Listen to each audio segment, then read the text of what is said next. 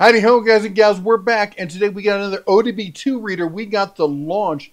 This is a new CRP123X. Gotta make sure I got the name right. I'm sorry, Elite for 2023. Let's get hands on with it, show you what it is, then we'll come back and I'll show you some more about the details on it. All right, let's check it out.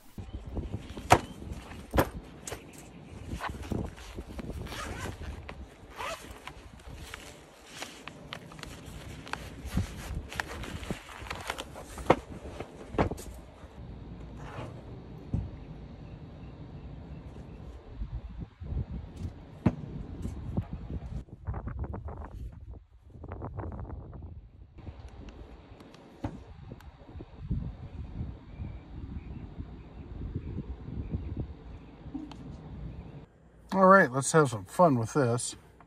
I'm to run it over the top here.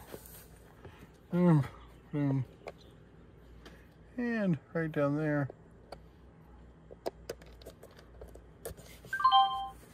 There we go. Oh, play the. What's your VIN number?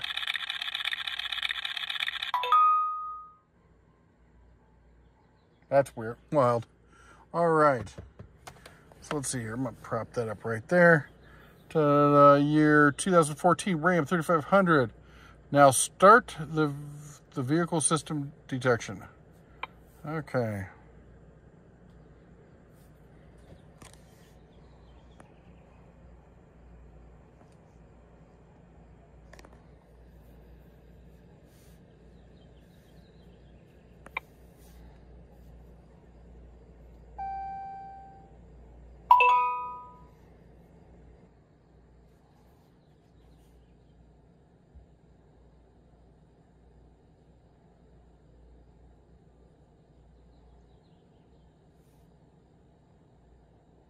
Powertrain module, abnormal.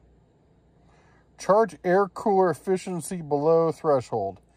That is a warning that I know I get because of my front bumper.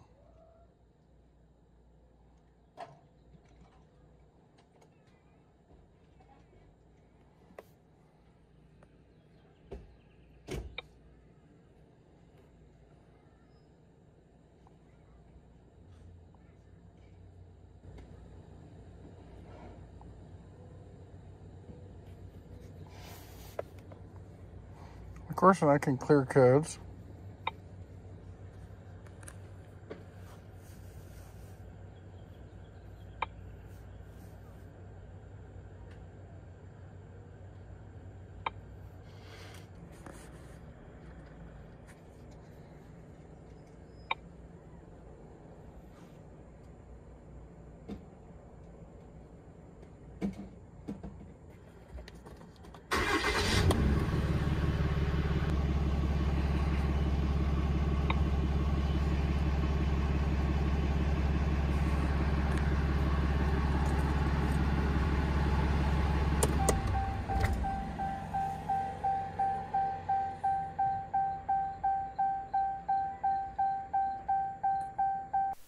All right, there you go. Well, they're comparing it versus the Foxwell.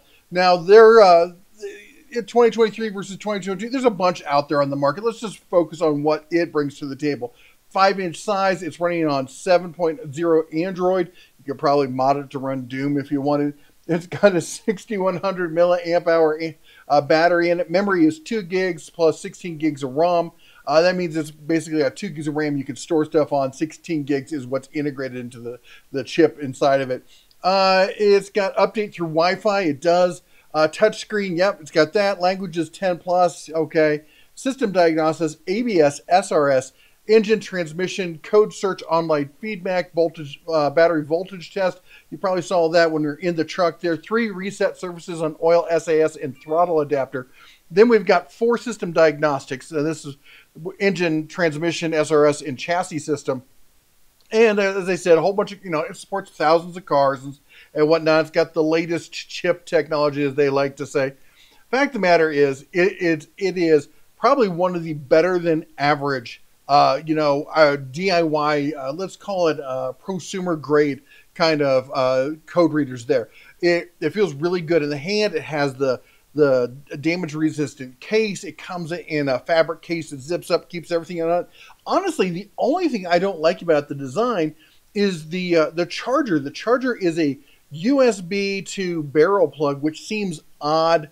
Um, I'm guessing you can get them replaced or something like that if you lose them, because that's the one thing I would be worried about. But honestly, it's $178. There's a $10 off coupon. You know what I'm going to do? I'm going to reach out to them and see if I can get a, a, a discount code. If I do, link will be down below with the discount code. Check it out if you're interested in this. Actually, they uh, I've had a couple of these. They just sent me one. I already had one, and I gave that one to my son, and that's the one, you know, he's in automotive school and stuff, and he's doing all that kind of fun stuff. So he needed a, an update on his reader because I mean, I think it's good enough for the for the average person. They not a not professional mechanic, but for the average person, this is a great code reader, honestly. Anyway, check it out in the links below. You all take care, God bless, and as always, shine on.